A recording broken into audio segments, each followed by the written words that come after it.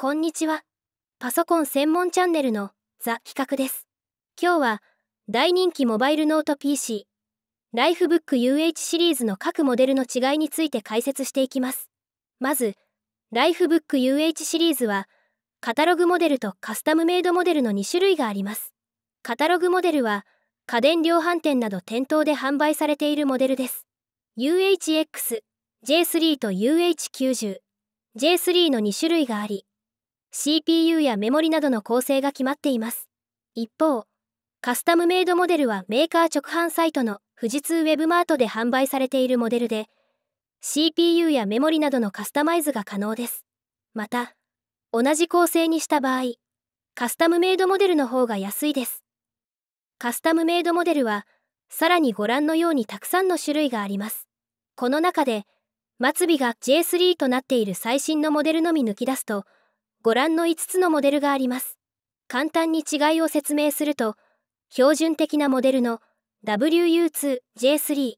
LTE5G に対応した WU2、J3 5G、タブレットへ変形する 2-in-1PC の WU3、J3、パフォーマンス重視の WU4、J3、世界最軽量の WU5、J3 があります。これらの違いをまとめたのが、この表となります。まず CPU の違いを確認すると、大きく分けて、末尾が U のものと H のものがあります。U は基本 15W で動作する CPU で、H は 28W で動作する CPU なので、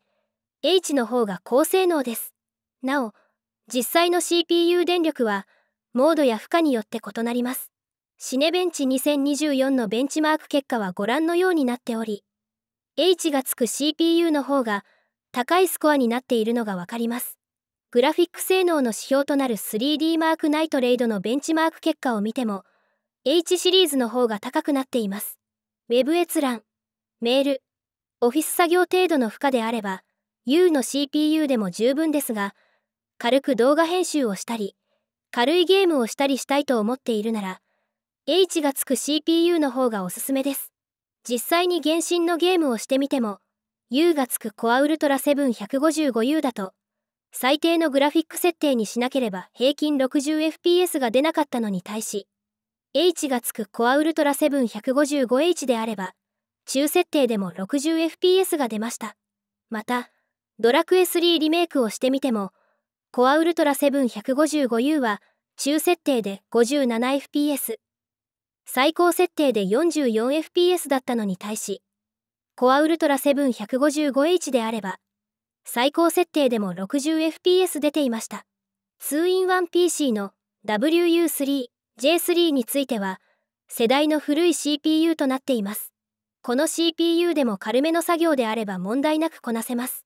また、世界最軽量の WU5、J3 のみ、キーボードバックライトが搭載されていません。製品発表会など暗い場所で作業をすることがある方は WU5、J3 以外がいいでしょう。USB Type-C ポートについては末尾が H または P の CPU のモデルについてはサンダーボルト4に対応しています。サンダーボルト4対応のドックや外付け SSD などを使う方は末尾が H などの CPU がいいでしょう。なお、サンダーボルト4に対応していない USB3.2 の場合でも、パワーデリバリー及び映像出力には対応しているので、多くのユーザーには USB3.2 でも十分だと思います。重さについては、WU5、J3 が最も軽く 634g しかありません。ただし、約 1TB SSD 搭載時のみ世界最軽量の約 634g となります。他の SSD の場合は少しだけですが重くなります。また、WU5、J3 はバッテリー容量が 31Wh とやや小さいため、バッテリー駆動時間がやや短いです。バッテリー駆動時間を重視するなら、64Wh のバッテリーを搭載したモデルがおすすめです。なお、WU2、J3 などは 31Wh または 64Wh のどちらかを選べます。また、WU4、J3 と WU5、J3 のみ、FMV0 の仕様となっています。FMV0 とは、PC リテラシー高めのユーザー向けに、シンプルな構成にした機種のことで、具体的には、ボディが上質なオールブラックのカラーになっています。キーボードはかななしのシンプルな仕様で、印字はブラックアウト処理が施されています。側面のインターフェースアイコンについても黒文字となっています。また、プリインストールされているソフトも最小限になっています。国内 PC にありがちな不要なソフトが一切入っていません。価格については WU2J3 が最も安いです。なお、メーカー直販サイトにあるお買い物応援クーポンとザ比較向けクーポンを適用すると安く購入できるのでご活用ください。どういったユーザーにどのモデルが向いているかというと、まず WU2J3 はライフブック UH シリーズをできるだけ安く購入したい方に適しています。迷ったらこのモデルでいいと思います。WU2J35G は文字通り 5G や LTE でインターネット接続したい方に適しています。私は外でインターネットにつないで作業をすることが多く LTE は必須なので個人用に購入するならこれを買います。WU3J3 は唯一タブレットに変形して使うことができるので、テント型にして使ったり、ペン入力したりしたい方に適しています。WU4J3 は CPU 性能が高く、バッテリー容量も多いので、パフォーマンス重視の方におすすめです。デザインにこだわりたい方もいいでしょう。WU5J3 は、とにかく軽いノート PC が欲しい方におすすめです。ただ、バッテリー駆動状態ではそれほど使わない方や、